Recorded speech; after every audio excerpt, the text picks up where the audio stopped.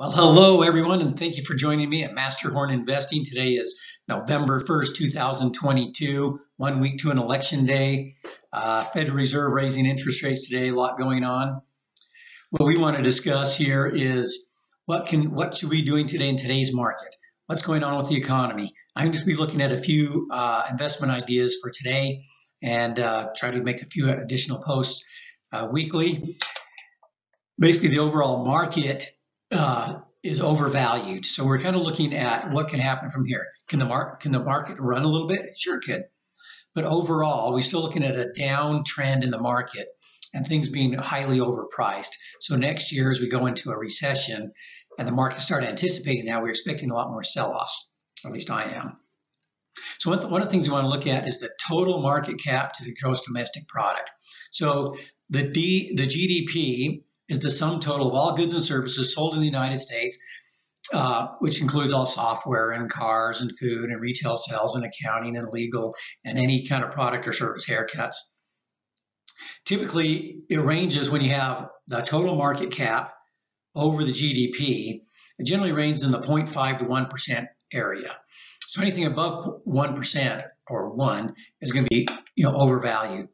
So let's look and see where we're at today. So the metric, this metric, this uh, market cap to GDP, gained a lot of pop, uh, popularity from the father of investing, Ben Graham, who taught it to his star pupil, Warren Buffett. And um, at the top of the housing market bubble, you'll be able to see on the next slide, uh, the indicator stood at 1.06, so it was kind of high. It's above that 1% level. At the dot-com boom, the market was running and it hit 1.45. So it was extremely overvalued at that point.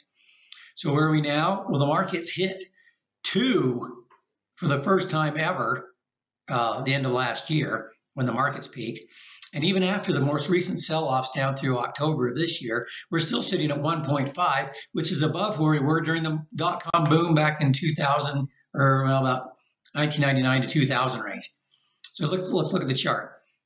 So over here, we have the uh, you know the top of the market.com era and you see that was sitting up here at that 1.4 range kind of a range we steadily been steadily climbing over the last number of years till we hit uh, this two range and now we're back down to we're about one and a half so that still shows that over this 50 year period we are still extremely overvalued as far as stocks go as compared to uh, GDP.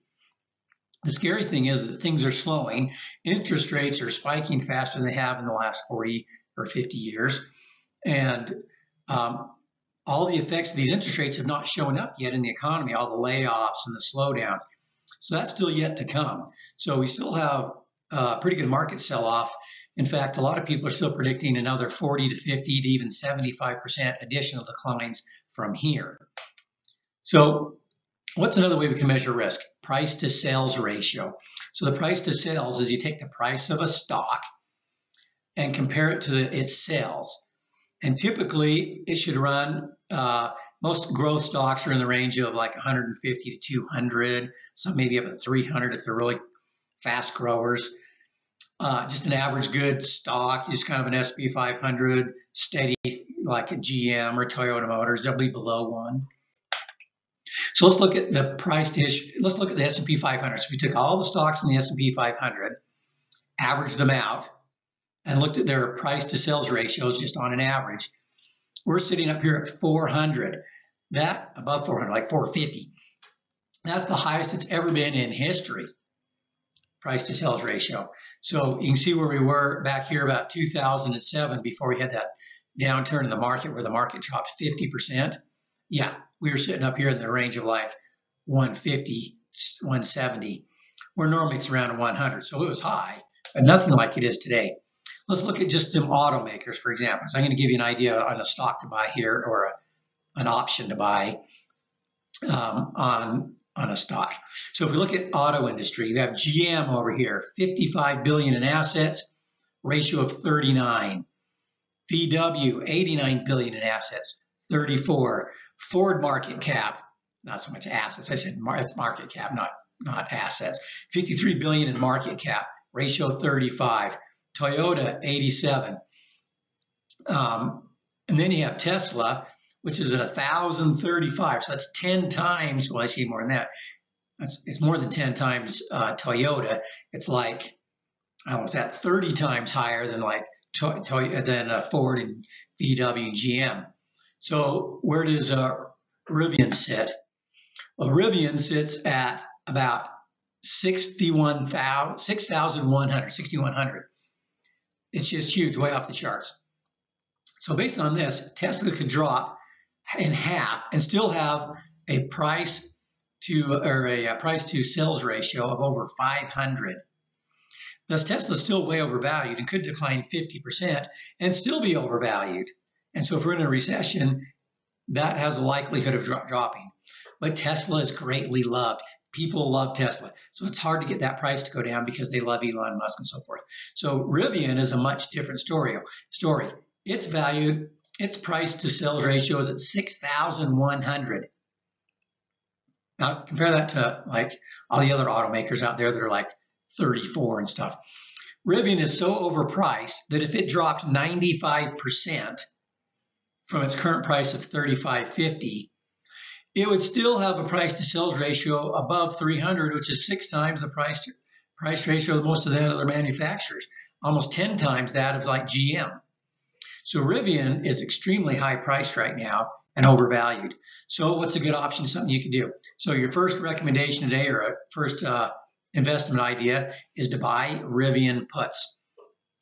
So you buy, you want to buy one and give it, you want to buy it time so it can have time to decline as we go into next year and we start hitting these recession times and the price starts to drop. So if you bought a 30 put, so the Rivian's sitting up here at uh, say 34, then if you buy a 30 put, it'd have to drop below 30 is the idea. But if you buy a June 2023 30 put on Rivian, symbol R-I-V-N, um, and you put a strike, you know, you use your strike price of uh, 30, maybe you could use 32.50 even if you want to be a little more conservative. There's a very good chance that if the Rivian even just dropped down to like 25, that you could three times your money. So if it dropped down to, it dropped in half, you could make much more than three times your money, like five or 10 times your money. And if the price were to really drop like 90%, like it could, well, you'd make, you know, a couple thousand times your money. So that just gives you a good option. Uh, something to look at. No pun intended. Caterpillar. Let's look at Caterpillar. Caterpillar is another stock that's kind of it's overvalued. You notice that uh, this is like we're going to go back and look at a chart that's like a uh, oh, it's a little over a year and a half, I guess. You see these little peaks that Caterpillar was hitting uh, when it was thinking that we're just in the peak markets. So like after COVID and people are building like crazy, Caterpillar selling new equipment like crazy, they'd hit these peak, these these peaks. And then it started kind of this decline. You notice it's kind of had this decline going like this. And the peaks have been kind of coming down this way. So we kind of have this channel going. Well, just this last week, so from mid-October, where uh, Caterpillar was sitting at like at 164, it took this huge run over the last two weeks, expecting that the Fed is going to stop lowering it, slowing interest rates. They, they might even lower interest rates instead of raising them. Um, and Caterpillar just went on this tear where it just, just ran up to like 220 and is back up to these levels again, which is some of the highest levels it's ever seen. This sucker is way overvalued. So any hiccups in the market or the economy is going to send this thing right back down to these levels. So Caterpillar is very economic sensitive. So it's been quite a volatile stock this year. So it's just recently jumped back up to this 220 range from like the 164. And the 164 is like a two year low since the COVID times. So there's a very good chance that Caterpillar is still going to keep up this volatility and could just easily just drop down below 200 just on a just just on normal trading. But any slowdown in the market and it's going to go back down below the 165 range. So, well, with the same idea here with uh, CAT, Caterpillar, we could give ourselves some time and buy a May 19, 2023 put. And then uh, don't put in more than, don't pay more than five bucks for uh, a contract. Now a put commands 100 shares. So a $5 put's really $500 is what it costs you to buy it. If you bought two puts, be a thousand bucks. Three puts, 1500 bucks. That kind of an idea. Now, don't you puts can lose all their money, so this is something you don't want to put a lot into. But what we're trying to do is risk a small amount of our portfolio, say 500 bucks, for the opportunity to maybe triple, quadruple, or 10 times our money. So if you buy a put, uh, like a May 19 put, and Caterpillar drops back down to say that 164 range between in between now and February or something. These things will will will run quite a bit. So your five dollar put could easily be worth, you know, 30, 35, 40 dollars, 50 dollars, and it can three, five, or ten times itself. So my next rec, my next uh, option investment ad, uh, idea is on CAT, buying a put May 2019, 2023. So just to give you an idea again on Caterpillar, so this is just this year. I just want you to be able to see this down slide a little bit better. See how this, how we're making this kind of like downtrend? And then this downtrend going up here like this. Well, we've been in this channel and right now we're like above the channel, which gives us, shows us that we're on the high end of uh, Caterpillar. So it, the chances of it going higher right now are very slim. So this is why it's a very good opportunity to buy a put. We're not buying it when it's already down here at some low level. We're buying it when it's on this peak after a huge market run up, expecting interest rates to slow down or the Fed to be more conservative coming into this uh, meeting on February 1st. Uh, and so buying that put gives you a very good option opportunity to make some money. Okay, the next thing I want to talk about today is Bitcoin. So I want to keep this short. I'm going to talk about these three things today. Rivian put, the, the Caterpillar put, and Bitcoin. Bitcoin is still in a downtrend. So here we have, this is a, kind of the, uh, this downtrend that's going on here. You see with the 200 day moving average kind of moving down this way. That's this line. Then over here we have another little line here with like the uh, 100 day moving average. Well, Bitcoin's having a hard time getting above these averages. So if Bitcoin took a little run here over the next couple weeks or month, it may get back up to its moving average. But it's going to head south again. That means it's going to go down some more. So where do we think it's going to go? Well, you can see we had sort of this double top up here where it hit that 65,000 and 69,000 range. And it originally started from this blip right here. That puts us in this area here. That's our downturn target. Right now, we have what they call a bear flag going. So when, a, when the stock is going down, or in this case, Bitcoin, so the stock it's coming down like this, and then it heads sideways like this. It'll break out in the same direction that it was going before it went into that flag. This is known as a flag. So if the stock is going down, it's known as a bear flag because we're in a bear market. Stock's going down, has a flag, then it'll continue the trend down.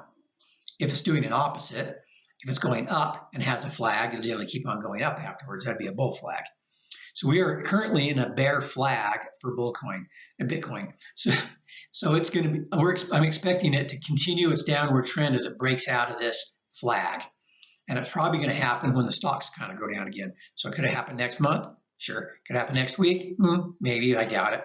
This is probably something that's going to take place over the next several months. It's going to go through this channel. It's going to break out to the downside and has a very good chance coming to this level here to match that, which is around 10,000, 10 to 12,000. So there's a very good chance of this going down to 10 to 12,000. Now, when things are in bear markets, a lot of times they overshoot. They go lower than you would expect. So I'm thinking rather than that, it's probably going to go down to this area here. That was the area that Bitcoin hit when it during March of 2000 and Bitcoin hit 3,500. So I'm thinking that as my kind of my lower end, uh, 3,500. So be prepared. So if you're if you're not in Bitcoin right now, it's too early to buy. If you're in Bitcoin, you can just hold on and buy some more if it goes down. But you'd also have a better chance of like, let's say you had one coin, that's twenty thousand dollars worth. You could sell that and probably buy it back and get two coins when it gets down here to ten thousand. So there's a chance to so I personally wouldn't be in Bitcoin. In fact, I've sold all mine. So my thinking is if you're in Bitcoin, it's still not a buy. If you're not willing to buy it, it's probably not worth being in it. So you could sell what you have, or if you're thinking of just buying some more, ride it out with what you have, and then if it goes down some more, buy some more. So, but it's not really a buy just yet. So Bitcoin, since it's not currently a buy, what do we want to do? Well, we want to look to dollar cost average in when the price hits what we hits our target, which is in that 10 to 12,000 range. We could start. So let's say you had 10,000 you wanted to invest into Bitcoin. You take like one fifth of it or one sixth of it and invest it in at those prices. So let's say you put a target. Let's say you put a buy order in it, 11,500. That'd be 2,000 bucks. Let's say. So you buy 2,000, then you can put in more buy orders at at 10, 5, 9, 5, 8, 5, 7, 5. And if it goes all the way down to three and a half, well, you're going to be buying it 11, 10, 9, 8, 7, 6. And you're going to have an average price, say, of whatever, 8,500. That gets you a good average price because we don't know what it's going to do. It may go down and kind of bounce around for a while around 10 and 12 and then start heading higher. And so in which case you would have bought some at 11, 5, 10, 5, Maybe if it just doesn't go down, you decide to buy some more. so if it takes a run, great, you got some in there. If it goes lower, great, you buy some more. And if it starts to run, you can always buy some more at 12 or 13 or something on the way back up. But uh, that's kind of my strategy. So again, I'm looking for the prices to go down below 10,000, but uh, pretty pretty positively between 10, 10 and uh, 12. So that's our uh, that's our update for today. Hope you enjoyed the show. If you, if you liked it, hit the like button, share it with your friends so they can also have some ideas for investing op uh, opportunities. And I'll keep you updated on some additional investment opportunities after the Fed uh, rate makes their interest rate change. They'll be looking for uh, opportunities where I look. We look at TQQQ or SQQQ to buy or sell the Nasdaq and try to make money there with a triple and so forth. So we'll discuss those down the road, and you have a great day.